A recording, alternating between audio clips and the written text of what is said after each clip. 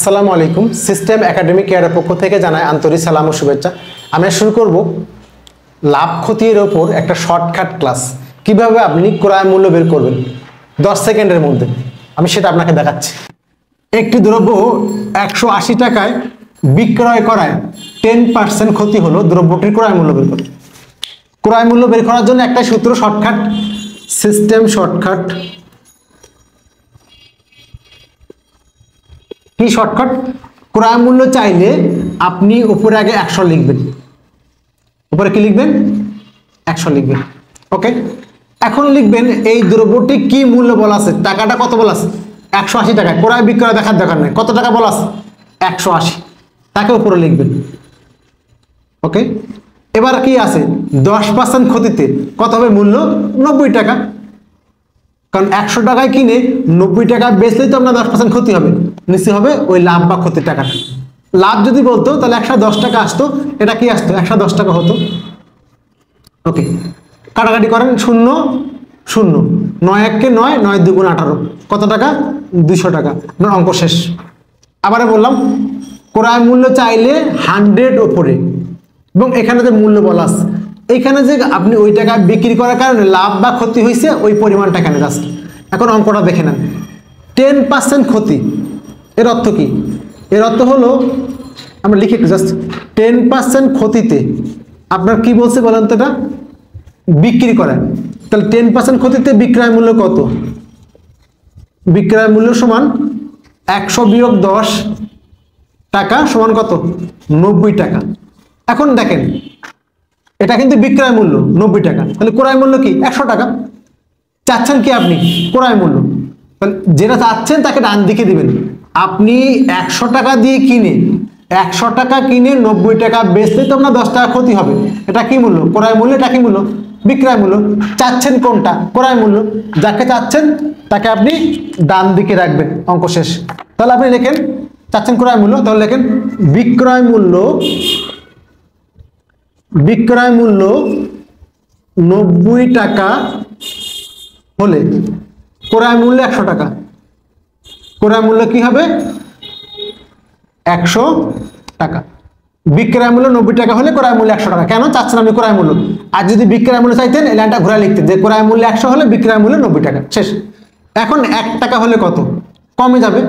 এখানে ছিল নব্বই, এখানে এক। তাহলে কমে যাবে একশো বাই নব্বই টাকা। কত বলছেন আর? একশো আশি টাকা। একশো আশি টাকা। তাহলে একশো গুণ একশো আশি, কারণ এক থেকে এই টাকাটা বেশি, তাহলে গুণ হবে এখানে। বাই নব্বই। শূন্য শূন্য কাটা, নয় এককে নয় নয় দিয়ে গুণ আঠারো। দুই এককে দুই এই হলো দুইশো টাকা। দুইশো টাকা, এই যে দুশো টাকা। এই দুশো টাকা।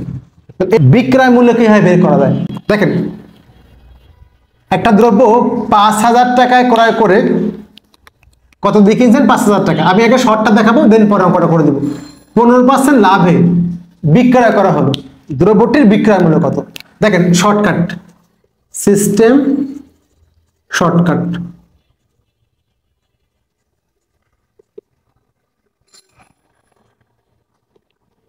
করেন অল টাইম বিক্রয় মূল্য বললে হান্ড্রেড নিচে।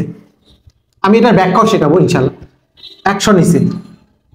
যার মূল্য বলা আছে, অর্থাৎ পরিমাণটা, সে ওপরে আসবে। পাঁচ হাজার টাকা। নর্মাল অঙ্কের মানে কথা যেতে পাঁচ হাজার টাকা। আবারে বললাম, বিক্রয় মূল্য বলে অল টাইম হলো একশো নিচে। এই যে পরিমাণটা, টাকাটা অল টাইম ওপরে ঠিক ক্রয় মূল্য বলে কিন্তু একশোটা উপরে দেয় ওকে এই যে লাভ, পনেরো পার্সেন্ট লাভ মানে কি? আপনি একশো টাকা জিনিস, একশো পনেরো টাকা বেচতে তো পনেরো পার্সেন্ট লাভ হবে। তার মানে এখানে কত? একশো পনেরো টাকা, একশো পনেরো টাকা। এই যে লাভের পরিমাণটা এখানে দেন, একশো পনেরো, অঙ্ক শেষ। লস যদি পনেরো পার্সেন্ট লস হতো পঁচাশি টাকা, এটা হবে। অর্থাৎ যে টাকাটা আমার দেওয়া আছে বেসিক টাকাটা, সেটা বসবেই বিক্রয় মূল্য বললে একশো নিচে আসবে, আর লাভ বা লস সে টাকাটা ওপর হবে। অর্থাৎ আপনি ক্রয় মূল্য বের করেন আর বিক্রয় মূল্য বের করেন দুটা মান ওপরে থাকবে। এটা কেন আসে আমি সেটা শেখাচ্ছি একটু পরে। কাটাকাটি করেন, শূন্য শূন্য কেটে দেন, গুণ করেন। একটা শূন্য বসে গেল, পাঁচ পনেরো কত? পঁচাত্তর। আর বাকি পাঁচ হাজার, তাহলে পাঁচ হাজার সাতশো পঞ্চাশ। বুঝেন নাই তো? আপনি একশোকে পঞ্চাশ দ্বিগুণ করলে কত? পাঁচ হাজার। পঞ্চাশ, আপনি, এখানে আমি শূন্য একটা নিয়ে নিছি। আর একশো পনেরো না, পাঁচ পনেরো কত? পঁচাত্তর, পাঁচ। তাহলে কত? পাঁচশো পঁচাত্তর। আর শূন্য তো আগে আছে। আপনি যদি একশো পনেরোকে পাঁচ দিয়ে গুণ করেন এটা ভাগ করে নেন। র্যাপিডি করার জন্য একশো গুণ পাঁচ পনেরো গুণ পাঁচ, তাহলে কত? পঁচাত্তর, এখানে পাঁচশো। তাহলে এটা কি হলো? পাঁচ হাজার সাতশো পঞ্চাশ টাকা। এ হলো আপনি কয়েক সেকেন্ডের মধ্যে, জাস্ট। এখানে নিচে হলো একশো, এখানে বেসিক মূল টাকাটা যেটা বলা আছে, আর এখানে যেটা বৃদ্ধি পাইছে, সেটা শেষ। এখন অঙ্কটা খেয়াল করেন। পনেরো পার্সেন্ট লাভে অর্থ কি? তার মানে পনেরো পার্সেন্ট লাভ মানে হলো আপনার ক্রয় মূল্য কত টাকা? ক্রয় মূল্য হলো একশো টাকা, আর বিক্রয় মূল্য কত? একশো পনেরো টাকা। আমি শর্ট করে দিলাম। ক্রয় মূল্য একশো, বিক্রয় মূল্য একশো পনেরো। তাহলে তো আপনার কি হবে? পনেরো পার্সেন্ট লাভ হবে। আপনি একশো টাকায় কিনে একশো পনেরো টাকা বেচলে কি পনেরো টাকা লাভ হবে? এখন দেখেন, চাচ্ছেন কি বিক্রয় মূল্য? এখানে যেটা চাইবেন, ডান দিকে দিবেন। দেখেন, ডান দিকে এটা আছে। আর যদি ক্রয় মূল্য চাইতেন, ঘোরা লিখতেন যে বিক্রয় মূল্য এত টাকা হলে ক্রয় মূল্য এত টাকা। যাকে চাইবেন, তাকে ডান দিকে দিবেন। এখন আপনি বলেন, তাহলে বিক্রয় মূল্য চাচ্ছেন না, ডান দিকে। এবং বিক্রয় মূল্যের মানটা কি হবে? উপরে হবে। এই যে মানটা, লাভের টাকাটা উপরে হবে। এক টাকার জন্য কত? একশো পনেরো বাই একশো। এখন দেখেন, একশো কেন নিচে আছে? শর্টকাটটা কীভাবে হয়েছে? কারণ আপনি যখন বিক্রয় মূল্যে লাভ করেন আর লস করেন লস যদি করতেন, পঁচাশি টাকা হতো। বাট এখানে কিন্তু একশো টাকা থাকবেই। ক্রয় মূল্য কিন্তু একশো টাকা থাকবেই। এই জন্য বিক্রয় মূল্য চাইলে একশো নিচে আসে।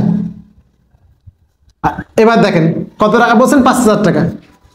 পাঁচ হাজার টাকা। একশো পনেরো গুণ পাঁচ হাজার, নিচে হলো একশো টাকা। এই শূন্য শূন্য কাটা, দুই শূন্য কাটা ফাইভ সেভেন ফাইভ জিরো টাকা। তাহলে শর্টকাটটা কীভাবে আসলে বুঝতে পারছেন? আপনি যদি বিক্রয় মূল্য চান, চাচ্ছেন বিক্রয় মূল্য, তাহলে বাম দিকে অবশ্যই কী থাকবে? ক্রয় মূল্য। কী থাকবে? ক্রয় মূল্য। ক্রয় মূল্য অল টাইম একশো টাকা। তাহলে ওই একশো টাকা যাবে নিচে। শুধু একশো নিচে যাবে। আর লাভ করেন আর লস করেন, ওই টাকাটা উপরে বেসিক টাকাটা ওপরে এই হলো আপনাদের যে কোনো বিক্রয় মূল্য বের করা শর্টকাট সিস্টেম আশা করি বুঝতে পারছেন। যারা আমার চ্যানেলটাকে সাবস্ক্রাইব করেনি তারা অবশ্যই সাবস্ক্রাইব করবেন। সিস্টেম একাডেমিক কেয়ারের পক্ষ থেকে আন্তরিক সালাম জানিয়ে শেষ করলাম আজকের মতো ক্লাস আল্লাহ হাফেজ।